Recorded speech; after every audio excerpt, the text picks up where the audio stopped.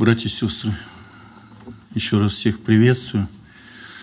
Деяния святых апостолов, глава 9, прочитаю 31 стих.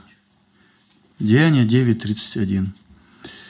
Церкви же по всей Иудее, Галилее и Самарии были в покое, назидаясь и ходя в страхе Господнем, и при утешении от Святого Духа умножались. Братья и сестры, я сегодня хотел поговорить на тему охождения в страхе Господнем. Я так понимаю, что эту тему можно бы сказать было, наверное, касаясь любой темы, предложенной нам братьями во время молитвы на неделе. Поговорить о страхе Господнем. Вот вчера мы молились о том, что Бог благословил христианские семьи, чтобы Бог благословил детей. А в 33-м псалме написано «Придите, дети, страху Господня научу вас». Помните, да, тоже? «Придите, дети, страху Господня научу вас». Я так понимаю, это же, наверное, ну, самое важное, чему нужно научить, или одно из самых важных. Почему? Потому что пока детки маленькие, вот Петя сидит там, дочурка с ним на коленках, но придет время, когда она будет расти, и чем больше дети растут, тем больше они отдаляются. И в школу пойдет ребеночек, потом он, он уже и дома реже. А потом все дальше и дальше, и все меньше и меньше с родителями, да, Витя? И теперь получается, что мы все не уследим, и мы за всем не проследим. И тем более, что сегодня вот различные требования со стороны учителей, в частности в том, чтобы интернет все больше входит в жизнь нашу, и жизнь членов церкви, и жизнь детей наших, даже, допустим, требования в учебе. И теперь, конечно, ну, допустим, говорят, чтобы он там в Учиру зарегистрировался и э, ну, понятно, если он там будет только сидеть. А если он куда-то по сайтам пойдет путешествовать, и что он там найдет, и родители, конечно, переживают за это. И если ребенок научен страху Божьему, как-то нам более спокойно, мы понимаем, что он не где-то заблудится или не где-то там пропадать будет. А если нет? А если мы вдруг замечаем, что страха Божьего у него нет? я вот даже замечаю вот по детям, у кого-то трепет какой-то внутренний, а у кого-то этого нет. И переживаешь. И переживаешь за это. Касается ли тема о страхе Божьем сегодняшней темы? Я считаю, напрямую касается. Вот здесь мы прочитали текст. Церкви же по всей Иудее, Галилее и Самарии, они находились в покое. Они назидались и ходили в страхе Божьем, и при утешении от Святого Духа они умножались. Вот благовестие, братья и сестры. То есть присоединялись к церкви души, люди, которые жили вокруг, и они, видя жизнь верующих, они присоединялись к Господу, присоединялись к церкви. А какая была жизнь верующих? А жизнь верующих была в страхе Божьем. И вот оно условие, друзья, вот оно условие успеха по благовестию жить в страхе Господнем. И тогда у людей будут вопросы, что ты за человек такой? Почему ты так живешь? Почему ты так поступаешь? Не так, как другие. Почему ты не говоришь то, что мы говорим? Вы помните, как Петр об этом говорил, что они удивлялись, люди, тому, что вы не участвуете в том же распутстве, а иногда даже злословят за это. А как это? Ты почему такой? Потому что страх Божий человек имел. Поэтому он не участвовал в распутстве. И поэтому он жизнь такую совершенно другую вел. И, конечно же, это заставляет людей думать, почему он такой, и, конечно же, думать о своей жизни. А почему я такой? Почему я не такой, как он? То есть происходит естественная евангелизация. Тогда, когда человек ходит в Божьем страхе. Итак, братья и сестры, я хотел своей теме коснуться четырех вопросов сегодня. Первый вопрос, которого я хотел коснуться, вообще, что такое страх Божий? Хотел несколько определений привести, что такое страх Божий. Второй вопрос, как страх Божий проявляется в жизни человека? Вообще, можно ли заметить, человек имеет страх Божий или не имеет страх Божий? И как он должен проявляться в моей жизни? Третий вопрос. Отношение Бога к боящимся Его. Я думаю, нам, как верующим, особо важно знать, если я буду бояться Бога, а какое Бога отношение ко мне будет? И Писание об этом говорит во многих текстах. И последний вопрос, которого я хотел коснуться в сегодняшней теме. Как страх Божий зарождается внутри человека? Где его источник? Где, где его взять? Где найти? Как он происходит? Итак, страх Божий. Братья и сестры, вообще обычно, когда мы касаемся слова «страх», мне кажется, оно вызывает в нас ну, какие-то негативные чувства. Страх. Страшно. И, наверное, вряд ли мы найдем человека, который никогда в жизни ничего не боялся. Ну вот дети обычно боятся, когда темно, да? Папа, включите свет, не выключайте. Ну, чтобы они заснули при свете. Потом можете выключать, но, но не выключайте, пока мы заснем. Боятся темноты дети. Или собак больших боятся. Идут со школы, там собаки бегают. Или у вас дегтярки не бегают собаки? Бегают. У нас бегают. Дети боятся. Но это естественно. Боятся, когда много машин по дороге едут. И, в общем-то, в этом отношении тоже страх есть нечто положительное. Если бы люди ничего не боялись, то намного было бы больше жертв. И, ну, то есть человек идет, он не смотрит направо-налево. Иногда мы, водители, это замечаем, не удивляемся, когда человек... Он идет, он даже вообще не смотрит. Раз, вот как шел, так и шел. Ну, хоть э, посмотри, едут здесь машины или нет. Вот. И иногда бывает, человек платит очень дорого, что он страха не имеет. Братья и сестры, так вот, страх слова, оно вызывает на самом деле в нас какие-то негативные чувства. Но только не о страхе Божьем, когда речь идет. Если мы с вами вникнем вообще в понятие страх Божий, то мы скажем, что вот это понятие, это как раз, это настоящая драгоценность. То есть страх Божий, этого понятия и этого чувства не нужно бояться, этого нужно желать, чтобы я имел. Я должен очень хотеть иметь страх Божий, потому что страх Божий, Библия говорит о том, что это настоящее сокровище. В книге пророка Исаии написано, страх Господень будет сокровищем твоим. То есть сокровище. И я хочу сказать, вот в наше время – ну, наверное, для христиан вообще это всегда время, потому что мир – это чуждая среда для желающих жить благочестиво и свято, и чисто. Это чуждая среда. Это примерно как, допустим, рыбу вытащить из воды. И это не ее среда. Это примерно так вот мы на земле живем, там, где зло. Написано, весь мир лежит во зле. И вот здесь, на этой земле, где вокруг грех, зло, искушение – для нас иметь страх Божий – это обладать огромнейшим богатством. Я вам хочу сказать, что если человек Божий страх имеет, это человек очень богатый. И это намного больше, чем все сокровища, которые он бы мог приобрести, я имею в виду земные сокровища, если человек имеет Божий страх.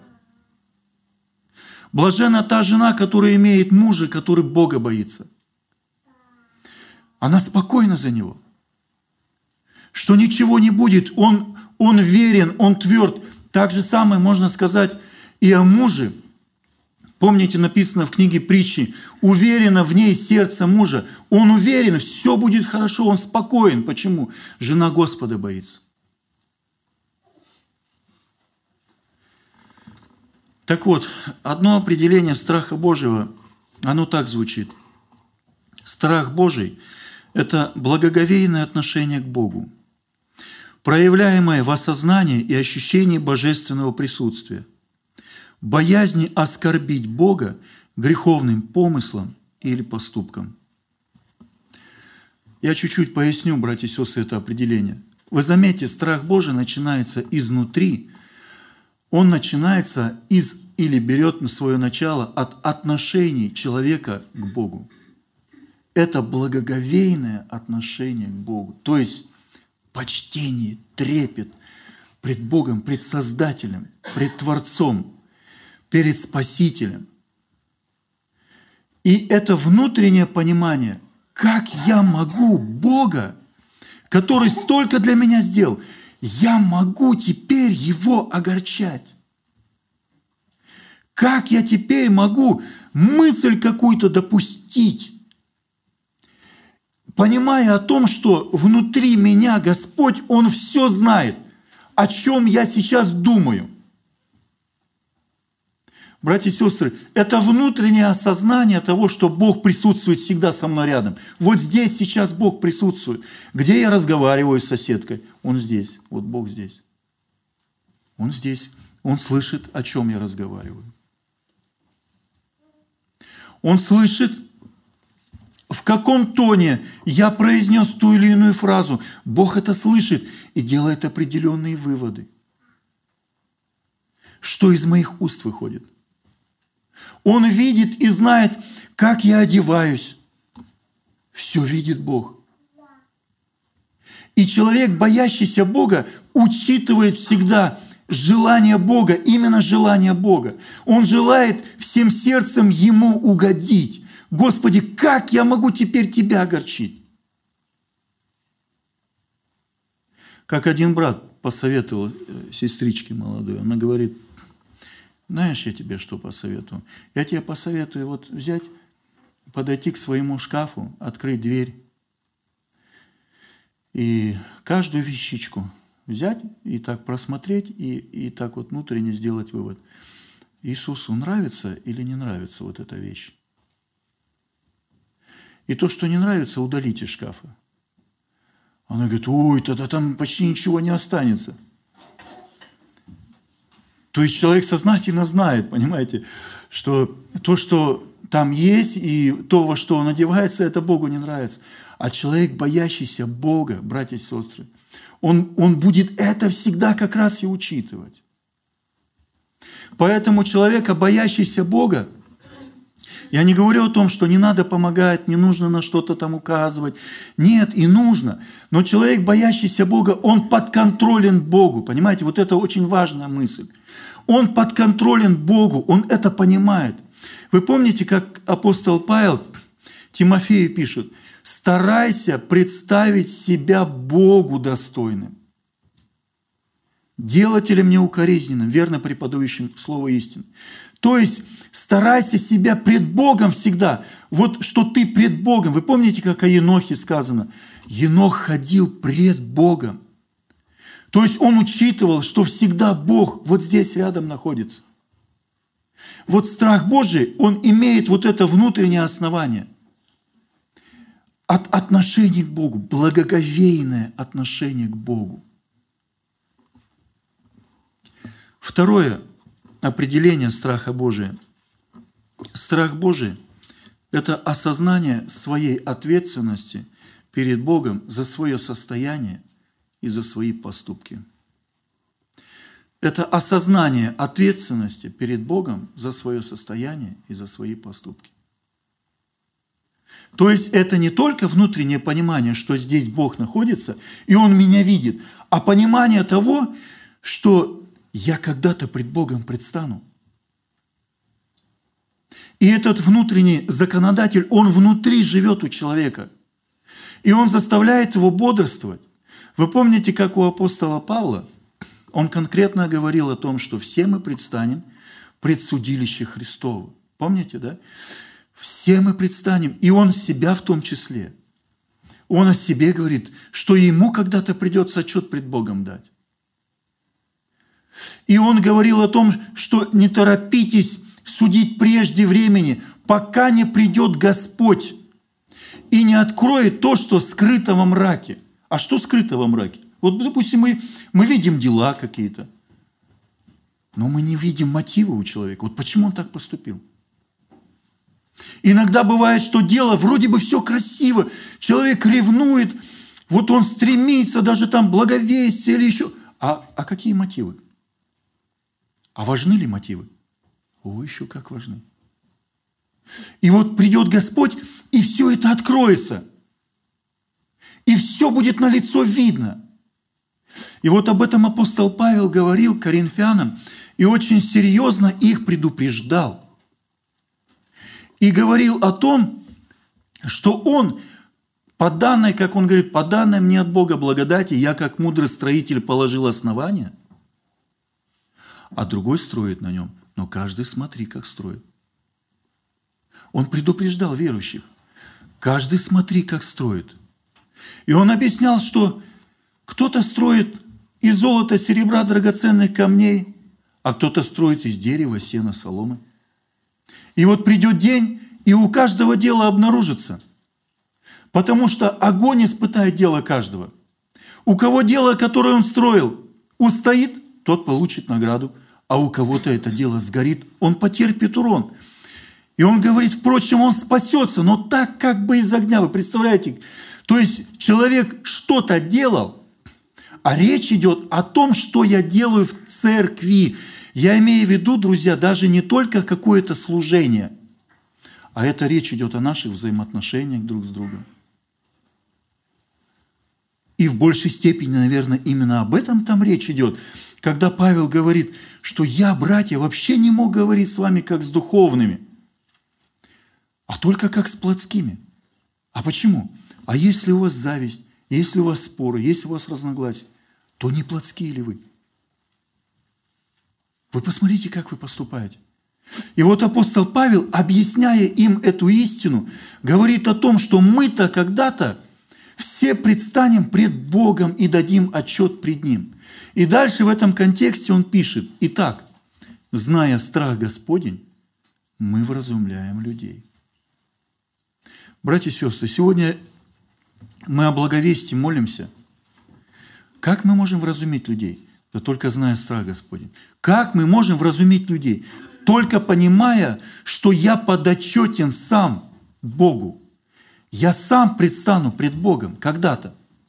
И если я со всей серьезностью это понимаю, я смогу и человеку сказать, знаешь, не шути с Богом, думай серьезно.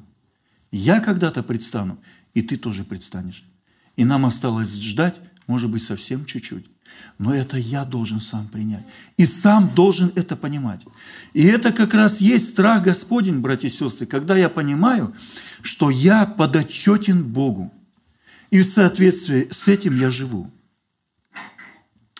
Братья и сестры, есть такое понимание, что страх Господень – это должно касаться людей Ветхого Завета. Ну, то есть вот в Ветхом Завете, там вот о страхе Божьем много сказано, а мы живем в Новом Завете, и поэтому у нас прежде всего должна быть любовь. Согласен, любовь у нас должна быть обязательно. Но в Новом Завете о страхе Божьем сказано очень много. И я хочу некоторые тексты Писания привести нам из Нового Завета. Апостол Петр когда-то в своем послании говорил, всех почитайте, братство любите, Бога бойтесь, царя чтите. Помните этот текст, да? Бога бойтесь. В первой главе первого послания Петра написано, «И если вы называете отцом того, который нелицеприятно судит каждого по делам, то со страхом проводите время странствования вашего». Вы помните этот текст, да? Со страхом время странствования. То есть вот вы живете на этой земле, работаете, общаетесь друг с другом, имеете Божий страх. Имеете Божий страх. Итак, мы, приемля Царство непоколебимое, будем хранить благодать, которую будем служить благоугодно Богу с благоговением и страхом, ибо Господь наш есть огонь поедающий, с благоговением и страхом никак по-другому. То есть, я так понимаю, друзья, вот послание евреям, это как бы, знаете, объяснение переход от ветхозаветнего служения к новозаветнему служению. И может казаться было людям, что страх Божий – это вот в то время, тогда, когда Бог наказывал. Вы помните, э, Давид перевозит на своей колеснице ковчег, и тут валы наклоняют, и Оза раз и схватился, и за дерзновение своего Бог поразил его, и он умер. О, наверное, вот в то время вот так Бог наказывал. Или Надав и Авиуд, помните? Внесли в святилище чуждый огонь. Внесли в святилище чуждый огонь, раз, и Бог поразил их. И Аарон смотрел и молчал. Как жутко было смотреть, сыновей Бог поразил. А не имел права разодрать одежды. Бог конкретно сказал. Да, это, наверное, в то время такой Бог был. Нет. Бог и сегодня так относится к греху, друзья. И вот вы помните, как только образовалась церковь, первоапостольская, и вот Анания и Сафира решили обмануть, скрыть. Ну, вид такой сделать. Мы как все. Продали. И вот несем к ногам апостолов. Вот как Иосия, которого прозвали Варнавой, помните, он тоже продал. И мы тоже такие хорошие, но вот такие благочестивые. Да вы не скрывайте, но если что-то оставили, если вы скажете, как оно есть на самом деле, ну это оставили себе, вот это хотим, чтобы раздали, да никто бы ничего не сказал. Зачем обманывать-то? Нет, хотели, вот мы же все даем, мы же такие жертвенные. Для чего ты допустил сатане вложить в твое сердце мысль солгать Духу Святому, Петр говорит. Ты солгал не человеком, ты Богу солгал. Раз, и Бог поразил его. И Сафиру также. А вы помните, что случилось в церкви при этом? А в церкви их посетил такой страх. Они поняли, с Богом шутить нельзя. Как в то время Бог свят – он не потерпит греха, братья и сестры, он не потерпит греха. И он от нас с вами, если он видит в нас что-то, он не потерпит, он будет работать над нами, воспитывать нас, братья и сестры, воспитывать. Иногда бывает, человек что-то скрывает, ну как бы вот, ну все хорошо, а Бог знает, что нехорошо. И если человек скрывает, иногда вот это неправда, открывается в народном собрании. Вы помните, как написано в книге притч? То есть, когда неправда прикрывается, и она не открывается, она откроется только в народном собрании. А если народное собрание, ну, имеется в виду, что и другие об этом узнают, и тебе намного будет стыднее и тяжелее это, когда это все обнаружится. А почему? А потому что Бог святой, братья и сестры. И вот это понимание, что Бог святой, Бог не причастен злу, мы должны это понять и наполняться страхом Господним. Господи, я, я понимаю, какой Ты. Сохрани меня от зла. Сохрани. Не хочу прогневлять Тебя. Не хочу оскорблять Святого Духа Божия, которым я запечатлен в день искупления. Братья и сестры, как проявляется страх Божий в жизни человека? Если человек боится Бога, это ни в коем случае не останется незамеченным. Если он боится Бога, это заметят. Это скрыть невозможно. Однажды одна жена пришла к пророку Елисею и говорит, нужда у нее была очень большая. Она вдовой осталась, и нужда была большая. И она ему говорит, ты знаешь, что мой э, раб твой, мой муж умер. А ты знаешь, что мой муж боялся Господа. Братья и сестры, да, ситуация была непростая. Он умер, и семья осталась ну, в долгах, и, видимо, в немалых долгах. Но так получилось. Мы, конечно, ни в коем случае не осуждаем его, но я вам хочу сказать, что к его чести он сумел научить жену и детей бояться Господа и жить верою. И вы представляете себе, они идут, собирают кувшины. Сыновья идут, собирают кувшины. И я так представляю себе, да, вот так вот, ну, сыновей послать, ну-ка давайте, идите, собирайте вот э, по соседям. А для чего? Бог чудо будет являть. Если бы они к чудесам не были привыкши, братья и сестры, для них одни вопросы. Это примерно, знаете как, когда Авраам с Исааком идут в землю, Мариан на гору идут, и Исаак спрашивает, отец, а вот огонь, дрова, а где агнец-то? Авраам говорит, сын мой, а Бог усмотрит себе агнца. И никаких вопросов нет. Я думаю, вот это да, отрок. Вот там вопросов должно было быть. А как Бог усмотрит? А что? И, и так далее. А почему так было? А потому что это были люди, живущие верой. Вот это Бог усмотрит, это было вполне естественно и нормально. Они по жизни так жили. Бог усмотрит, сынок. Бог усмотрит. Давай будем молиться, и все нормально. То есть, когда в семье живут верой, вот это Бог усмотрит, это вполне естественно. И вот этот как раз человек, который умер – который боялся Бога, он научил жить в страхе Божьем, научил семью и жену, и детей. Поэтому-то она и пришла теперь к Елисею. Как прекрасно, друзья.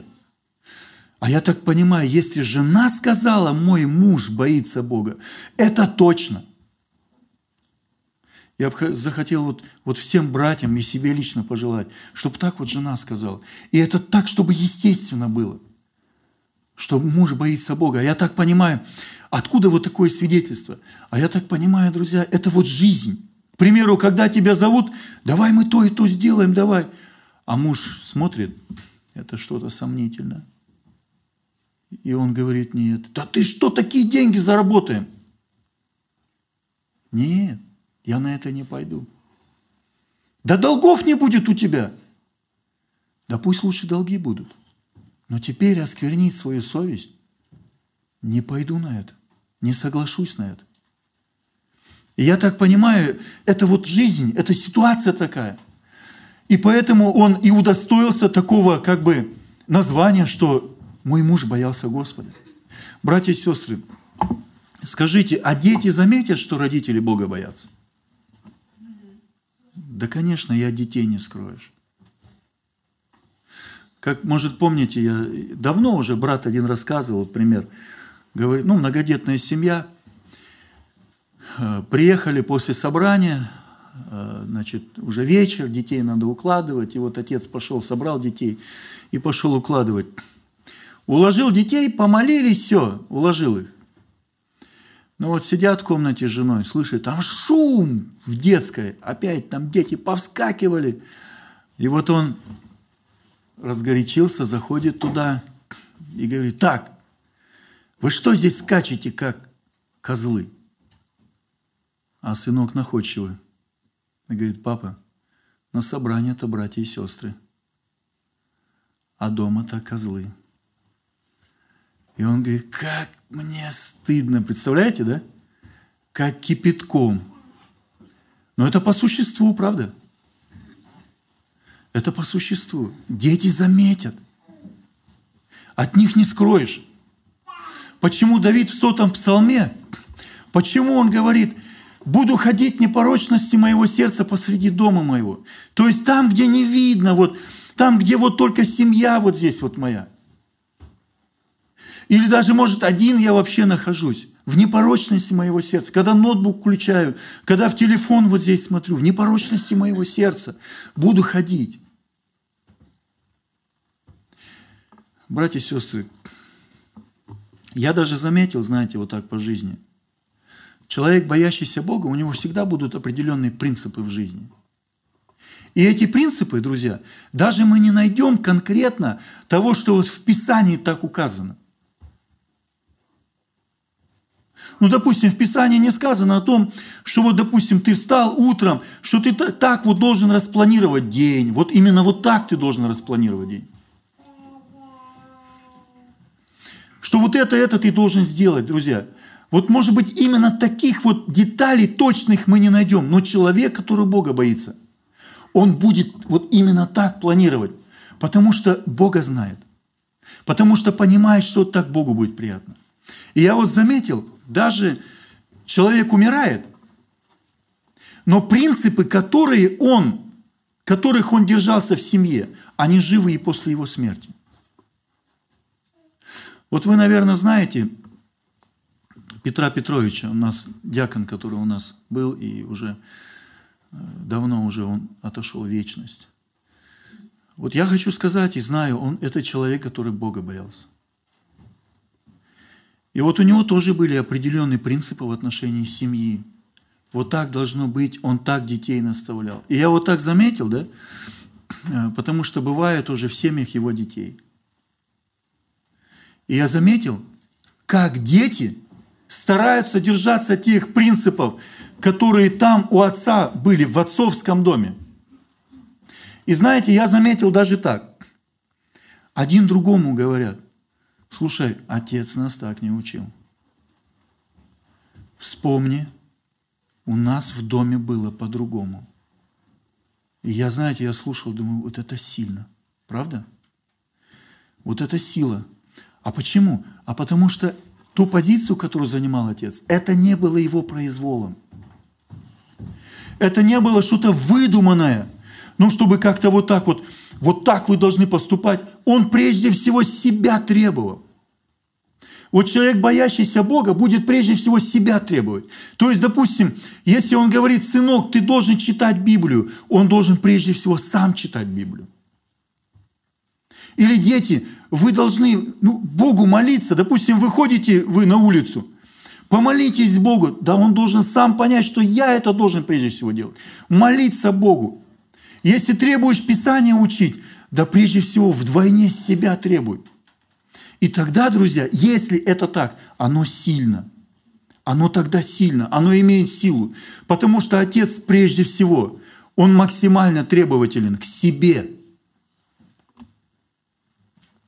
Я заметил, братья и сестры, рассуждая над этой темой, что Библия полна примеров, где проявляется у людей страх Божий. Я некоторых примеров хочу коснуться вот в своей теме.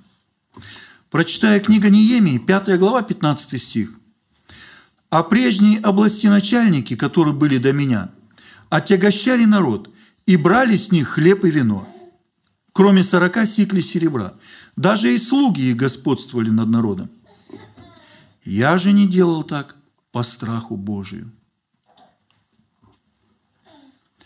Вы, наверное, помните эту ситуацию. Вавилонское пленение, и народ возвращается. Город разрушен, Иерусалим. И людям жить очень тяжко. Надо все восстанавливать. Здесь и надо работать. Здесь надо чем-то кормиться. И все восстанавливать. И очень трудно. И вот Неемия говорит, прежние области начальники – ну, 40 сихлей серебра, я понимаю так, это, по всей видимости, плата, которую должны были люди платить, чтобы э, содержать вот области начальника. Ну, естественная плата, да? Но прежние области начальники, они брали с лихвой хлеб и вино, должны дать. Ну, то есть, как бы это неписанный закон, и попробуй не дай. Но как и сегодня иногда так бывает, когда мы видим, допустим, люди мира сего, э, ну вот как написано в Евангелии, судья Бога не боялся, людей не стыдился. И мы встречаемся с таким. Вот даже если чуть отклониться от темы, я помню, несколько лет назад умерла моя мама. И так случилось, как раз я был на пресвитерской конференции, и пришлось мне пораньше оттуда уехать, попросил брата Николая Берг, и мы поехали на похороны. Похоронили маму, э, нужно было выезжать из города, и тут раз смотрим, уже, уже почти что выехали, и последний пост, пост ГАИ, ДПС, смотрим, подъезжает э, примерно за километр перед нами машины ДПС, раз поперек встали и каждого останавливают. И мы медленно едем, так смотрим, остановили машину. Он вышел, так водитель, что-то поговорили, поговорили, раз сел, уехал. Ну, из города. Раз, другой тоже сел, уехал. Думаю, интересно. Каждого тормозят, и люди едут, главное, туда. Думаю, интересно, что такое.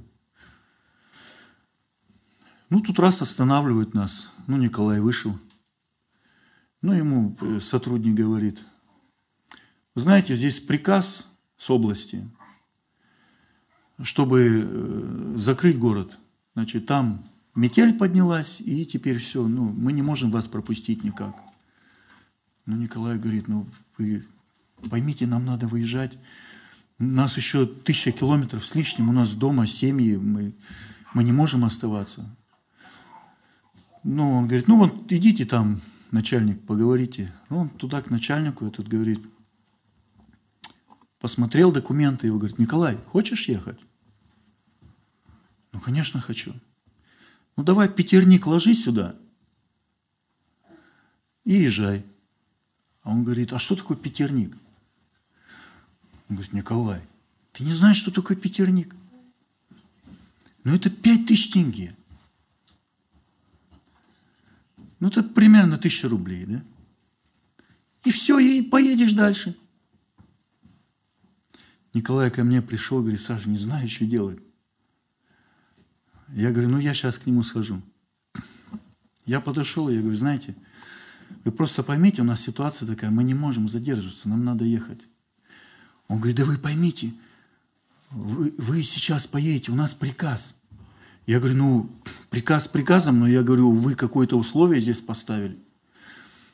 Он говорит, о, ну вы просто, говорит, сами подумайте, вы вот сейчас поедете, вдруг замерзнете. А как у нас на совести будет после этого? Я думаю, интересно, думаю, как. Получается, если раз пять тысяч ложь на совесть, все нормально, все спокойно, да? А если нет этого одеяла, да, то тогда это будет тяжело.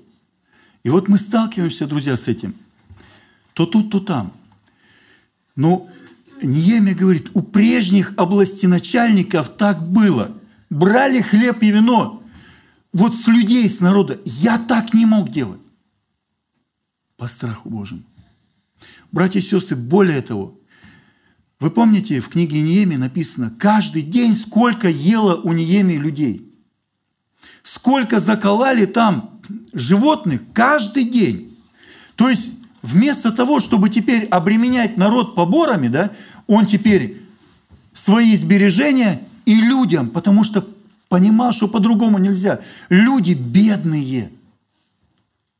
И он с других начальствующих это требовал. Вы посмотрите – вы посмотрите, как люди живут, как вы можете так относиться. Почему? По страху Божьему. Братья и сестры, я хочу сказать вот одну мысль по этому тексту, что страх Божий, вы заметите, он касается вот всех сфер жизни человека, даже нашего вот отношения к ближним. Как ты относишься? Наших отношений к финансовым вопросам, к кошельку, к деньгам. Страх Божий. Или, допустим, помните текст? Книга Исход 1.21. «И так как повивальные бабки боялись Бога, Он устроял домы их». Наверное, этот случай вы тоже помните, да? То есть от фараона было повеление такое очень грозное – умершлять всех мальчиков евреев. Это было повеление, конкретно сказано бабкам – Смотрите. Почему? Потому что они в этом участвовали. Смотрите. Братья и сестры, я вам хочу сказать, это ослушаться этого повеления, это грозило потерять жизнь. Недаром, помните, Моисей-то убежал. Когда убил египтянина, помните, это не на пустом месте было. Если даже Моисей, братья и сестры, если даже Моисей, который был особо приближенным к фараону, сын дочери фараоновой, если он скрылся, понимал, что ему поблажек не будет здесь, то что говорить об этих бабушках, да? Но они боялись Бога. Я хочу сказать, что человек, который Бога боится, если речь идет о том, что исполнить заповедь или не исполнить заповедь Божию, он готов жизнь потерять, но не приступить. А разве сегодня не так, друзья? А разве сегодня не так, что мамочки, вот христиане, да, христианки, для того, чтобы не нарушить Божью заповедь в отношении деторождения, они согласны идти даже на смерть, но принять всех детей – а неверующие удивляются, что вы за люди такие. А страх Божий, друзья. Страх Божий это делает. братья и сестры, когда-то страх Божий удержал Иосифа от страшного греха. Вы помните? В доме Патифара. Вот эта негодная женщина развратная. Иосиф конкретно заявил, как я сделаю сие великое зло и согрешу пред Богом. Я представляю, как она, она может, она озиралась. Какого Бога? Где ты его видишь? Мы же здесь вдвоем. А Иосиф как будто ей глаза открывает. Я пред Богом, здесь Бог находится. То есть человек, человек, боящийся Бога, он понимает, вот здесь Бог сейчас, мы не вдвоем. Здесь Бог находится. Я вот, знаете, заметил и сегодня, как страх Божий, братья и сестры, сегодня, в наше время, удерживает и сохраняет молодых христиан от подобных грехов. Почему? Потому что люди-то не поменялись сегодня. Я вот вспоминаю, как-то один брат рассказывал, в армии был случай. Приказ дали, он должен был поехать к офицеру, к одному из офицеров домой, ну, чтобы там что-то по строительству, ремонт делать или еще что-то такое. И вот, говорит, приезжаем, он один поднялся на этаж туда, в квартиру, тут открывает дверь жена того офицера. И он говорит, я захожу в дом, и я, говорит, как только взглянул, и я понял, что меня здесь ждет. Я хотел, кстати, сказать, что, вы знаете, тайна Господня, боящимся Его.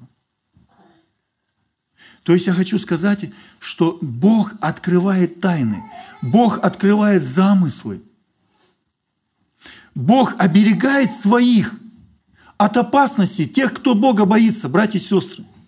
Он оберегает их.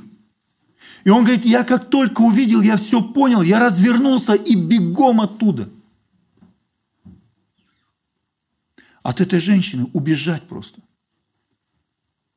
Братья и сестры, вот в Псалме 18, 10 стихом написано, «Страх Господень чист, пребывает вовек». Псалом 18, 10. «Страх Господень чист, пребывает вовек». Знаете, я бы сравнил вот Э, страх Господень – это своего рода антисептик. Знаете, вот как сегодня мы куда не зайдем где-то там, или в магазин, или там, где соцзащита, или еще где-то, в банк, и, и везде вот антисептик, да, побрызгать руки, чтобы там от микробов там, ну и все такое. Страх Господень, братья и сестры, Он оберегает нашу душу. Он оберегает от вот этой скверны, от нечистоты этого мира – чтобы сохранить своих детей от осквернения, от прикосновения, от прикосновения к чему-то нечистому. Третий вопрос, братья и сестры, которого я хотел коснуться, это как Бог относится к людям, имеющим Божий страх. Как я уже сказал, для нас, верующих, это очень важно. Как относится Бог? Братья и сестры, боящиеся Господа – вызывает у Бога особое расположение. Написано в Псалме 146, 11 стих. «Благоволит Господь к боящимся Его». Благоволит Господь к боящимся Его. Вообще, у вас бывает такое, что, допустим, к примеру, какое-то искушение, а искушение – это же всегда выбор, как поступить, вот так или так. Это обычно всегда выбор – и иногда бывает даже такое, когда и времени на выбор очень мало, когда нужно что-то сказать, принять решение. И вот, вот это всегда очень опасно, когда времени очень мало. Бывает у вас такое, когда вы поступили по страху Божьему, ну, допустим, где-то не поучаствовали в каком-то злословии, в каких-то сплетнях – даже не, не поддакивали. То есть иногда бывает человек, который распространяет какой-то слух, сплетни, он хочет, ну ты хоть поддакни, ну кивни хоть, вот кивни. Вот этого он и хочет иногда. Кивнул, и, и как будто и оправданно вот, вот этот слух, который он говорит. Братья и сестры, но человек, который Бога боится, он даже на это будет обращать внимание. Не быть соучастником. Так вот, у вас бывало такое, что когда вы поступили где-то по страху Божьему, что вы при этом чувствуете вот внутри? Вы чувствуете внутреннее удовлетворение, радость, мир, покой внутри? Или наоборот, у вас что-то там внутри там тревога или еще что-то такое. Какие при этом возникают чувства? Удовлетворение, радость. Согласны, да? По страху Божьему. А почему, друзья? А это внутренний индикатор. Вообще сердце наше, помните написано? Сердце, если осуждает нас, то кольми паче Бог. Наше сердце. Я вот помню э, случай, купил микроавтобус, уже давно было, микроавтобус дизельный, ну старенький микроавтобус у меня был. И не успел купить, через несколько дней смотрю, раз приходит один у нас житель поселка. И, а в то время, знаете, еще колхоз у нас был, и люди и на тракторах ездили, ну и все такое. И он приходит и говорит, Саш, купи солярку. Я тебе в полцены отдам, говорит. Я ему говорю, слушай, я, я не куплю у тебя. А что? Ну, полцены, ты смотри на заправке, какая цена. Я говорю, твоя солярка-то не чистая. Он говорит, а ты что думаешь, на заправке чище? Я говорю, чище. Твоя солярка, она совесть морает. А, ну понятно. Раз и пошел. Он-то думал, что я буквально говорю, что нечистая. Братья и сестры, а у меня внутреннее удовлетворение.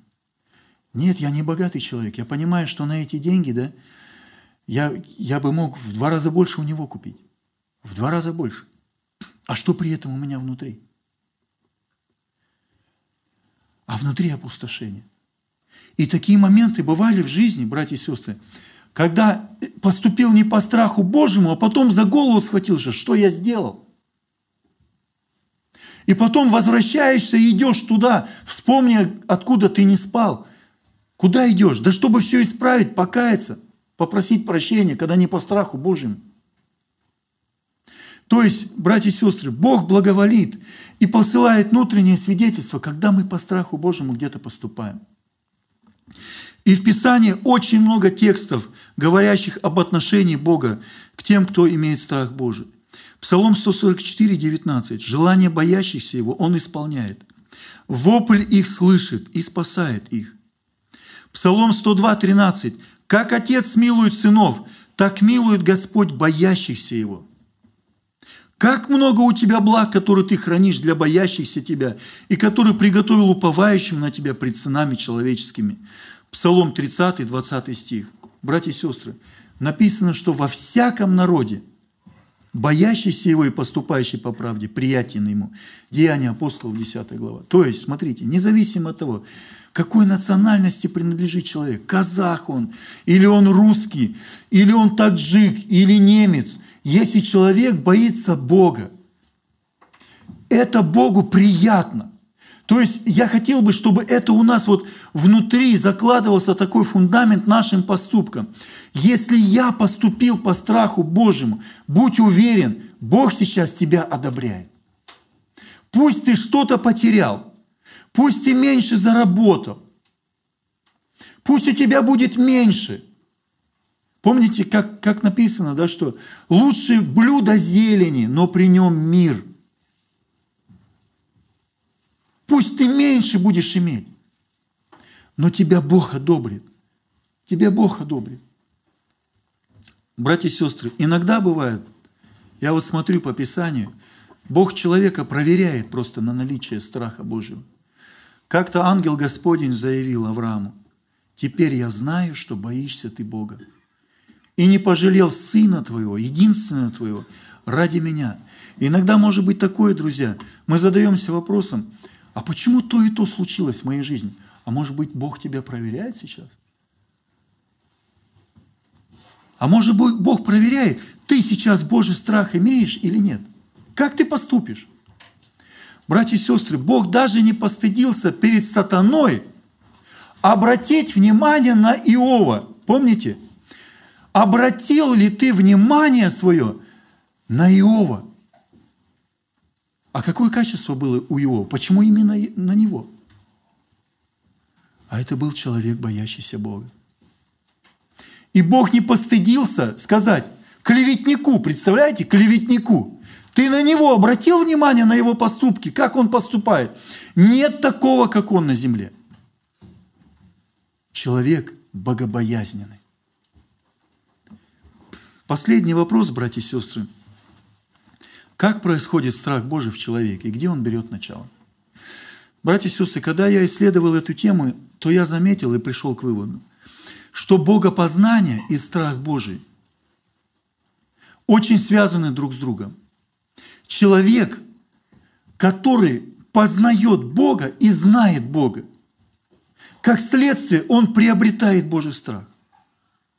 То есть по-другому быть не может. Если человек близко к Богу прикасается, то есть соприкасается с Божьим действием, делами, то в нем это возникает. Вы помните, когда воскликнул Петр, «Выйди от меня, Господи, я человек грешный».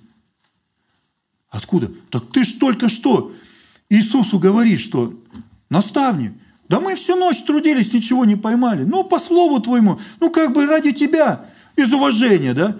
То есть ты ж такой опытный был. Ты даже не видел своей греховности. А как это ты так увидел все это? Да потому что соприкоснулся с Христом, понял, кто Он. Вы помните, братья и сестры, вот в Писании очень много текстов на эту тему.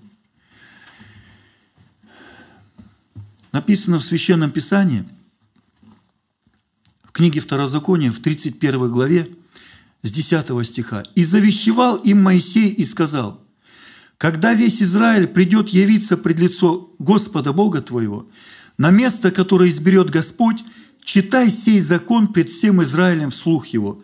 Собери народ, мужей, жен, детей, пришельцев твоих, которые будут в жилищах твоих, чтобы они слушали, учились, и чтобы боялись Господа Бога вашего, и старались исполнять все слова закона всего.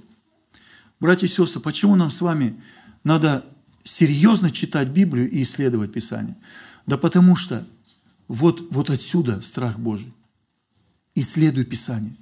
Почему нам так важно с детьми сидеть, вникать в Слово Божие? Представьте себе, Израиль собрали Израиль, собрали. Дети, жены, мужья, все должны слушать слова закона. Для чего? Чтобы учились Божьему страху. Вот из Писания. Мы иногда можем удивляться поступкам людей.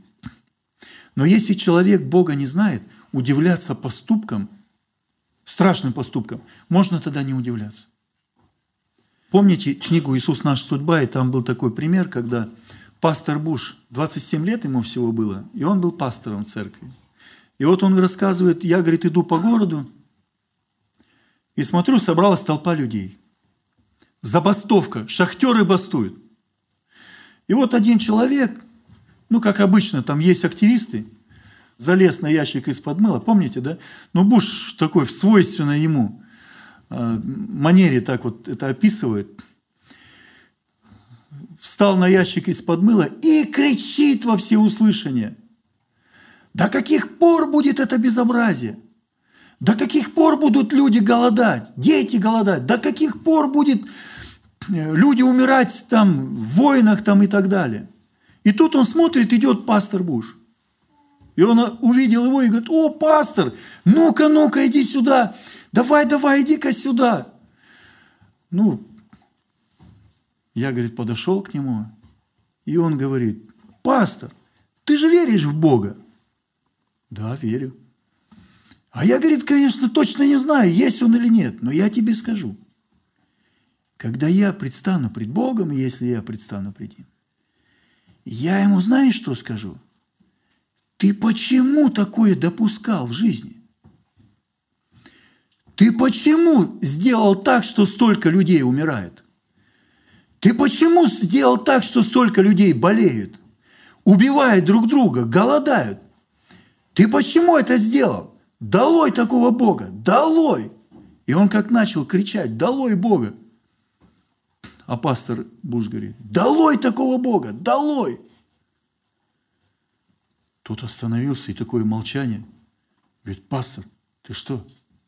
Ты же пастор, тебе же нельзя такого говорить.